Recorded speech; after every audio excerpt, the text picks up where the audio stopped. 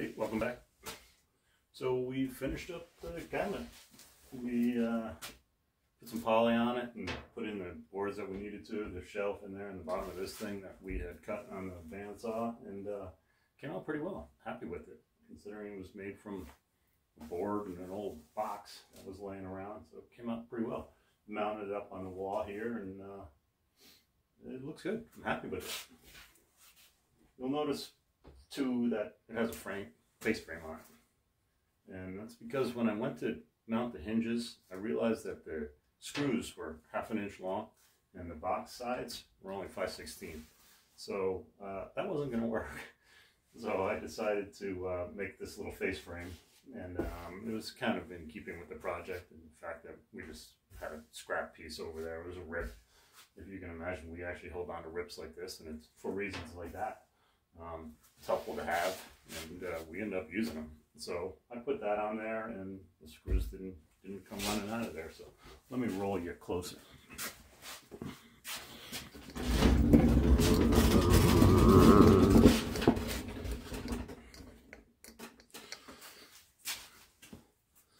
All right, so right now I just have a block plane in here, and I'm keeping a couple other planes in here, and oh, an espresso. Hmm. Oh, that's delicious, Gavin. Thank you. So these are a couple of the planes that we use typically around the shop. Um, block plane, obviously, some of these smaller little planes and smoother. And we have other big hand planes, but I have no idea how to use them. They're just too big and they end up tilting side to side, but that's another story. So, but these are the ones I actually can control and the ones that we use typically on some of our jobs. Obviously, the block plane all the time. But here's the cabinet. It came out pretty great. Um, as I said, we had to put this face frame on it because we were blowing through the sides with, with the holes, but uh, shelf worked out right. I mean, obviously we probably could have put another one, but um, this is this is just fine. And really, it was more just the effort of doing this than it was anything else. But it's just to show that you know you can you can make these things out of very very little material, and and they're pretty slick. I have a bigger one of these that I made from two by sixes that I took out of an old house. They were that really beautiful tight grain Doug fir.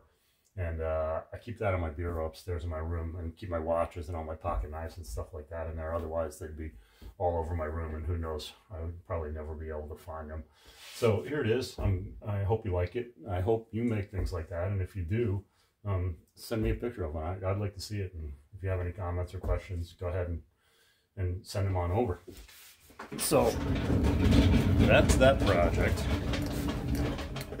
And hope you give it a shot. And the final thing really is one of the things that we like to do with these things, why we do all these things, is because we, we don't have unlimited resources in this world and, and we're going through them really fast.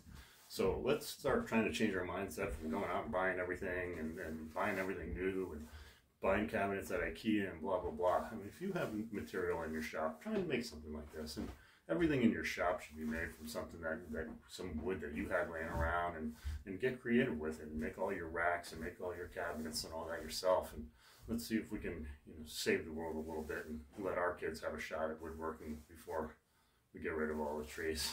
Okay, so I hope you liked the video. Send me some comments if you have any, and uh, I'll see you in the next one.